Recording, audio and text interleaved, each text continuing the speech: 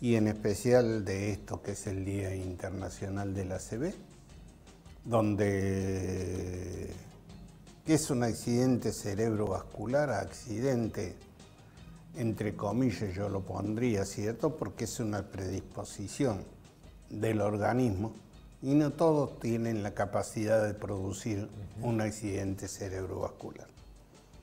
Ya sea por mala calidad de vida, ya sea por una disfunción circulatoria, ya sea de nacimiento, ya sea por eh, estrés, que son distintas eh, variedades que en sí predisponen al organismo para que vayan debilitando sus canales de riego, que es a donde se produce.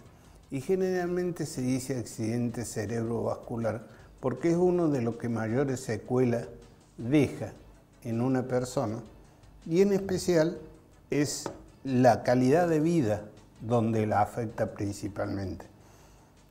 Un individuo cierto joven con mala calidad de vida antes del ACV es una cosa y la calidad de vida de la persona después del ACV es otra cosa totalmente distinta.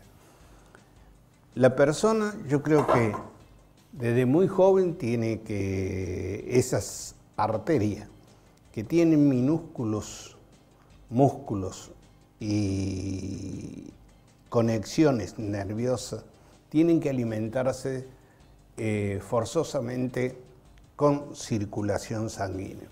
¿Qué pasa? ¿Por qué dicen accidente cerebrovascular? Porque justamente al debilitarse una de las arterias del cerebro o venas del cerebro, se produce un derrame de sangre y no hay peor eso me lo sabía decir un médico viejo de la universidad, no hay peor tóxico que la sangre fuera de los conductos normales con la que Dios lo fabricó.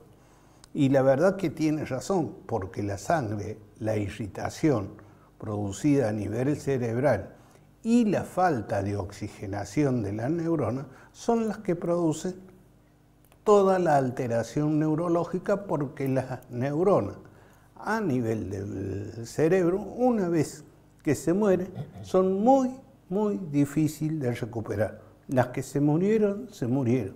Ahí a donde aparecen las distintas parálisis, generalmente puede ser una parálisis media facial, puede ser una parálisis general de hemiplegia o en algunos casos ha habido serios y graves trastornos de cuadriplegia con trastornos de habla, con trastornos de visión, audición.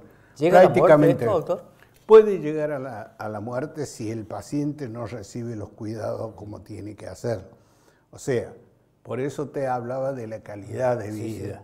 Una calidad de vida anteriormente, ¿cierto? Sin ningún tipo de medicación, sin ningún tipo de control por lo menos es lo que se habla siempre y lo que hablan todos los médicos, una vez al año, hágase un controlcito con el cardiólogo, con el clínico, aunque no sienta nada, no importa.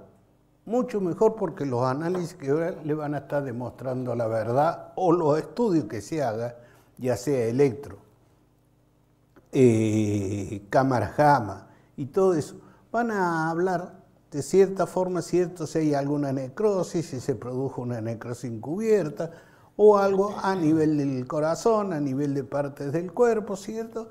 Y una tomografía que en este momento tenemos la suerte de tener un aparato como el tomógrafo, ¿cierto? Donde no puede hablar, donde puede haber una cierta falla que antes no lo podíamos descubrir. Doctor, eh, ¿se puede prevenir la CB, digo, eh, al margen de estos cuidados que usted está diciendo una vez por año? Sí, se pueden prevenir, se pueden prevenir. ¿Cómo? Y una cosa muy simple. Después de los 40 años, tomar una simple aspirineta toda la mañana. El ácido acetil salicílico hace y produce de que no se formen coágulos a nivel de la circulación sanguínea en una de esas fluidifica la sangre, de lo cual hace que no haga tanta presión sobre las paredes sanguíneas. de los vasos sanguíneos. Entonces, si ya de nacimiento tiene debilitados sus vasos sanguíneos, ¿eh? esto habilita también a que esos vasos sanguíneos hagan de qué? De mayor cantidad de años de vida. Eh, doctor, em, ¿cómo yo paciente o yo ciudadano eh, me doy cuenta que estoy a punto de esto o el ACV se da en el momento que se da o hay síntomas antes? No, generalmente hay, varios síntomas que al paciente, no, ya se me va a pasar, ¿cierto? Porque tuve un problema con Juan, con Pedro, Andrés, o que me está pasando algo que no me alcanza lo que tengo, o que el sueldo que cobré lo tengo que gastar todo en la deuda que tengo. Y todas esas pequeñas cosas me ponen en un estado nervioso donde no pude dormir toda la noche. Y hace dos noches que no duermo, te vienen y te dicen, deme algo para poder dormir en la noche. No, primero vamos a hacer una serie de estudios y una de No vaya a ser que algo está faltando de oxígeno a nivel del centro del sueño. ¿Qué son? ¿Dolor de cabeza, adormecimiento en manos, cansancio? ¿Cómo son los síntomas? Generalmente la mayoría son eso. La mayoría es cansancio, dolor intenso de cabeza.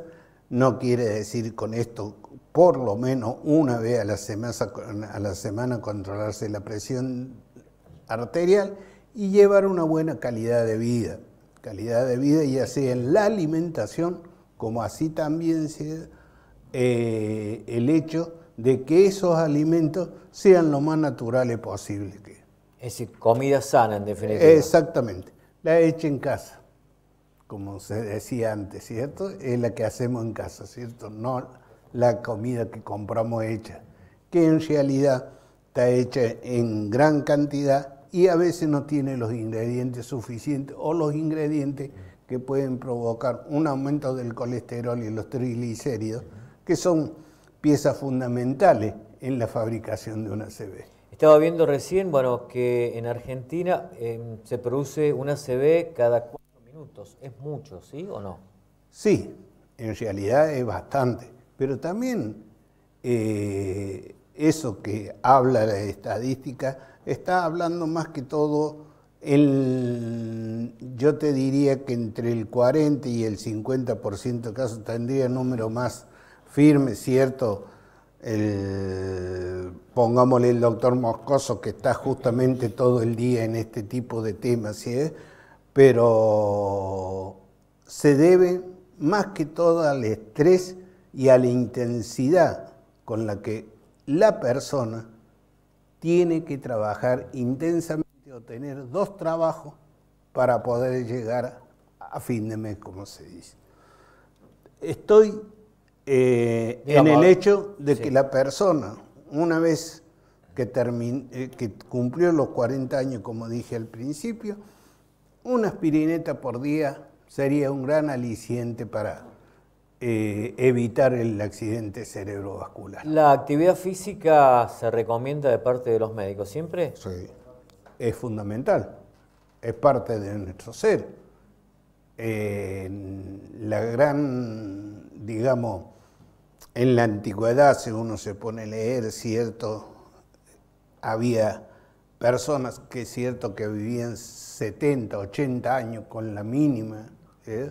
pero que caminaban kilómetros y kilómetros para poder llegar a tener un alimento, para poder salir a cazar y todo lo demás. ¿Qué es lo que hacemos ahora? Salimos de nuestra casa, nos subimos al auto, vamos hasta el lugar de trabajo, del lugar de trabajo salimos, más traemos todo el estrés de adentro del trabajo y lo ponemos ¿a dónde? En nuestro domicilio. Y entonces se plantea una situación donde uno dice, mire, no se toma los cinco minutos eso de respiro, de decir, sentarse en un lado y decir, bueno, vamos a empezar si es... Es como pisar la pelota y empezar de nuevo. Exactamente. Porque si yo llevo los problemas de mi casa al trabajo, se agudizan. Y si llevo los problemas del trabajo a la, casa, es lo mismo. Por eso hay que ir a la cancha a gritar, a insultar al rival, y que sea lo que quiera. Justamente, eh, ese desestrarse, desestrarse, ¿cierto? O sea, sacar el estrés de adentro. Una broma, no van a pensar que... sacarse el, estrés. ¿Con, otra, ¿Con qué? Con la actividad física, que es lo que tenemos a mano. Tenemos para practicar miles de deportes, entre los que estoy practicando yo, que son los ocho. O simplemente caminar. simplemente caminar. Aquel que no quiere hacer este tipo de deportes, simplemente caminar. Doctor Faría, como siempre. Y vivirla intensamente en este sentido. Ver siempre creo yo cierto que es una gran ayuda para el organismo y para el espíritu el hecho de ver o dar una cierta mano al que tenemos al lado. Seguramente, eso es importante porque eso destreza más. No guardar lo que no tiene, sino dárselo. Dárselo. Uno se siente bien como aliviado, ¿no? Sí, pero es no como decir, compartamos la mochila. Claro, no dar como lo que, lo que, lo que me sobra, sino dar lo que no tengo. ¿no? Exactamente. es muy importante. Y digo, eh, por ahí lo que voy a decir, muchos van a criticar, por, más por los tiempos que hace pocas horas ocurrió en Argentina, ¿no? Es decir, el tema es eh, trabajar para vivir, pero no vivir trabajando. Exactamente. No sé si estoy equivocado, pero... Toda la vida de la idiosincrasia argentina fue así. Desde que yo tengo uso de conocimiento y donde mis padres, cierto, me lo inculcaron, cierto, era del trabajo a la casa, el descanso del fin de semana donde se visitan los sábados los parientes y el domingo se come el asado y se toma el vino, para el lunes empezar de nuevo con todos los ánimos posibles.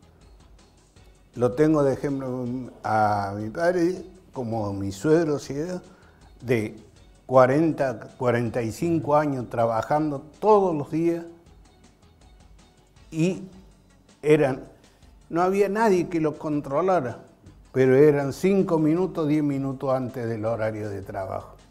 Y bueno, hicieron su casa, nos dieron un bienestar, me dieron una profesión y gracias a ellos estamos acá. Gracias por el mensaje. Muchas gracias, como siempre, doctor Farías. Gracias a vos, Rocky, y gracias a la teleaudiencia por soportarme otra vuelta más. No importa, yo soy el que lo invita. digo, siempre lo invito porque a veces los otros médicos a veces no tienen tiempo por cuestiones Sí, no, no. No digo que usted no tenga tiempo porque va a venir del hospital, pero siempre... No, es que yo lo tomo, como te decía recién, lo tomo con esa filosofía.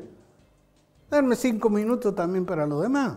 Si no, todo el día comer, voy a cumplir 45 años de médico a fin de año, ¿cierto? Y entonces ya hice la parte que tenía que hacer, entonces ahora empiezo a entregar todo lo que más puedo a los demás. Gracias, doctor.